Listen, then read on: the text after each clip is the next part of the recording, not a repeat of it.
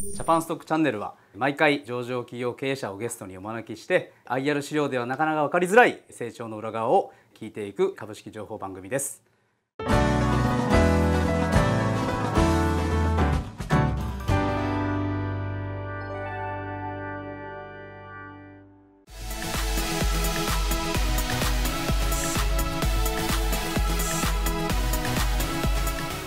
はい、えー、今日のゲストはですね、えー、東証一部上場、えー、証券コード、えー、3665エニグモの須田さんにお越しいただきました。よろしくお願いします。一年越しなんですよね。覚えてないんですけどね。須田さんにこのチャンネル出ませんか？みたいなのを実はこの1年の間に2回ぐらいはなんかしてるんですけど既読する。いや、多分勘違いだと思う。勘違いちなみにしかも1回目は僕ノーモーションっていうか、まあ、いきなり「須田さんお久しぶりっすこれどうですか?」って既読するだったんでまあなんか忙しいのかな？とかあったんですけど2回目はなんかね食事の日程調整の話をパッてして「あちなみに須田さんこれどうですか?」って言ったらそっから既読するみたいな。それ食事をしながら話そうって多分思って流れちゃったんなるほどなるほど。まあタイミングがもしかしたらねあったかもしれないですけど。須田さんもう本当お付き合い多分10もう14、5年じゃないです14 15年経ちますね。多分2007年とか渋谷の渋谷東のそうなん2006年とかですよ。2006年とか。もう15年ぐらいです。15年ぐらいですね。本当にスタートアップのちちっちゃなね。10人ぐらい。あそうそうそうそう15人とかぐらいですかね。はい、今日はですね、あの、えー一応株式情報番組なんで、はいエニゴムの会社について、まあ、須田さん本当食事とかしょっちゅうさせていただいてて、あの、ね、なんかし仕事の話半分、そうじゃない話半分ですけど、今日はもうビジネスの話のみではいいきたいと思います。よろしくお願いします。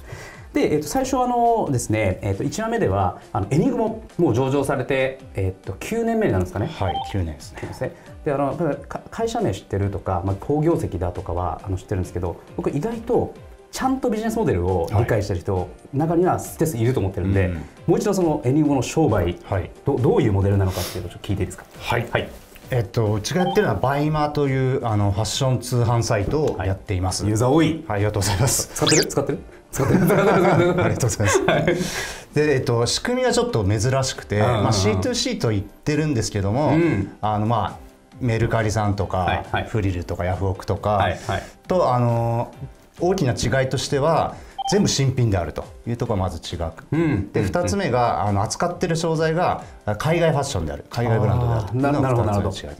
で3つ目が完全な C2C ではなく、んうん。あの売り手が結構プロフェッショナルなのであの偽物とかの発生率が、まあ、10万件に1件以下まであのじゅ10コントロールされてる。はいなのでそのすごくこう制御された C2C っていうのは、うん。世界で見ても結構珍しいんモデルになってます。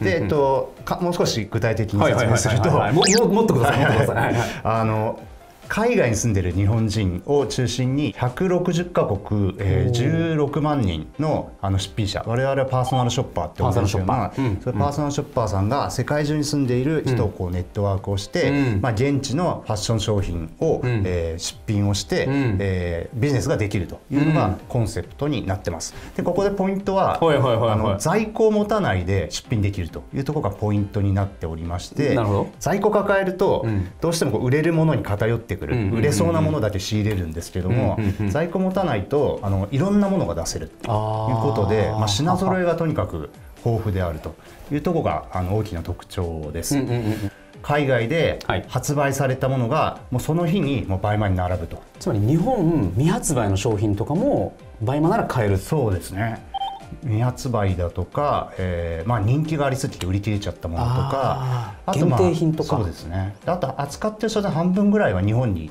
まあ、そもそも来てなかったりしますし。半分も。半分ぐらいはやっぱり倍まで買うとすごく安いと、まあ、ブランドによって本当10万円安く買えたりとか、まあ、3万円安く買えたりとかうん。あの結構本当に価格差ありますので。あーだから安いと下手したら半額とかありえますよね。ありえますね。あの自分が今年買ったコートで。あ自ら買ったコートで,、はいはい。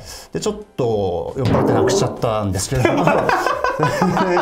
情報いりますね いやいや。じゃあすっごい悔しかったんで,、うんうん。でなぜ悔しかったかっていうと1 5 6万したんですよ。めちゃくちゃ悔しかったんですけど、倍まで買ったやつがですね、はいではい。はいそれをでもある時百貨店行ったら、ん。まあ、30数万円で売ってたんですね。同じ商品が。同じ商品を。だから、まあ、だいぶそこは価格差あるなと思いましてもういろんな商品があるので、まず倍までチェックをして、こう街を見に行ったりとか、まあ、そういうこう最初に見るメディアとしても、ん。あの結構機能している。まあ、見てて楽しいって言っていただけるんですけどもまあ、そういう楽しみもはいちょっとバイマには出てきております。はい。さんあのバイマの、えー、と今ユーザーっていうのはか会員登録で測ってるんですか？そのダウンロード数とかで測ってるんですか、えっ会員と、一応会員登録でユーザー数っていうのは発表してまして、で、まあ、今800万人は超えてますね。最大の強みは、うん。やはりその品揃えの部分で日本でその在庫抱えている場合って、どうしてもその品揃えが限られる、うんまあ、色とかサイズとか、うん。あのたくさんある中でやっぱり、日本人が好みそうな M サイズの、まあ白とか黒とか無難な色とかにやっぱりなるんですけれども、でバイマの場合は世界中からその在庫を持たずに、うん。えー買える。かつその出品者を、はいはい。あのアウトソースしたことで世界中の人が出品してくれるかつその人たちそれぞれが在庫を持たないでうん。現地の商品を出せるのでうん。まあ、極論あの世界中の商品が、うん。まあ、に出せるというところが、まあ、最大の強みになってます。うん。あと最近多いのが、はい。僕の知り合いの経営者とかもあのよくこの商品ないこの商品ないって直接尋ねられることがありまして。えカカスタマーサポート？カスタマーサポートをやってるんですけど 日本で売り切れてても、うん。世界中のお店をうちのパーソナルショッパーがこうもうネットワークができているので、うんうんうんこう在庫の確認とかしてくれて見つけられるんですね。それプロダクトサーチの場としても、まあ、すごく人気が出ていまして。指名買い的な？はい、世界中の在庫にうん。アクセスできる、まあ、世界中のお店がうちのパーソナルショッパーを介してアクセスできるそといううかそうか。2つ目の魅力はそこにあります。パーソナルショッパーって増え続けてるんですか？増え続けてますね。でスモール B みたいなもんですよね。そうですね。商売感のある人たちですもんね、はい、結構出品とか意外と大変で、うんうん大あの片手までは結構できないってことが分かってきまして。で我々もその、そのプロ仕様にどんどんサイトを変えていってるのであそうなんですか。簡単に一品一品出せるっていうのもまあメルカリさんとかだはいと思うんですけどあれは逆に結構一品一品の出品は大変なんですけど、うん。まあ、奥行きを持ってあのう出るようにんなっていて、まあ、そういうプロフェッショナルの人に使ってもらえるよううん。な最適化しているサイトになってきています。ああそのサービスオープンしてからこの2021年でバイマは何年目になるんですか？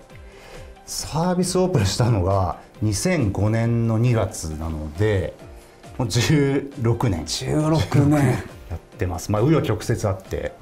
最初はもう全然違う。世界を変える本のタイトル正式に忘れた。やばい。謎の会社。謎の会社。僕も本当読んだんですけど最初はもう本当なんか何でも売ってたみたいなのから。そうですね。最初練されてね。はあのもう国内も含めもう何でも買えるサイトを目指していて携帯一つではいはい。街中の商品を 見つけて 例えば六本木ヒルズで映画見る前にうん。ビレッジヴァンガードの商品をあげてうんで映画見終わった注文が5個入っててうん。それを売ってうん。5000円ぐらい儲かっちゃったみたいうん。なそれをこうもうリアルタイムライブみたいなの考えてたんですけど始めてみると全然ダメでうん。あの16年か。何でも売れてたゆえになんか千葉県の漁師がその日取れたアサリを出してたりとか。こっち側でバッグ売ってるけどこっちアサリ売ってたりとか。紆余曲折のあの時の話は全部書籍に書いてますからぜひあのご購入していて読んでもらうと。あの読み物としてもめちゃくちゃ面白いですからね。起業家物語としても。ファッションのところがぐーっと伸ばしてきたと思うんですけど実は家具領域とかも増えたりとか、はい。あとは興味深かったのは単価問題。はいも増えてきてると。あの2話目ではい。そこちょっと深掘って聞いていきたいと思いますので引き続きよろしくお願いします。お願いします